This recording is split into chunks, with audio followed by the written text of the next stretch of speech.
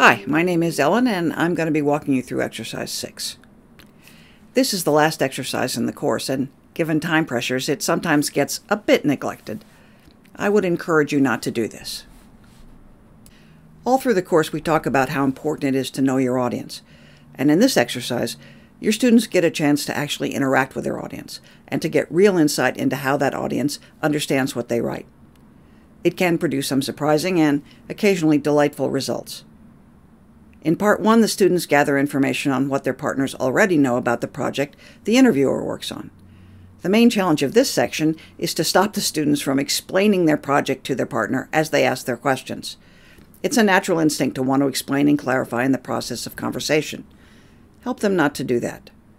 In part two, the students take the information they've gathered and create a brief description of their project for their partner. Emphasize how the description needs to take into account what they've just learned, that understanding the context of what they write and who they write for is at the center of the writing task.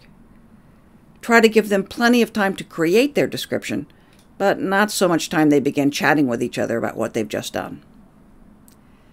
Finally, the students exchange their work.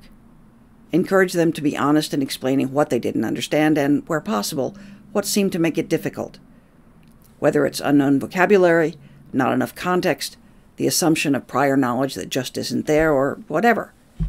You may hear some laughter or the sounds of genuine surprise. It's all good. Sometimes this is just the start of a conversation that will continue out into the corridor when the class is through.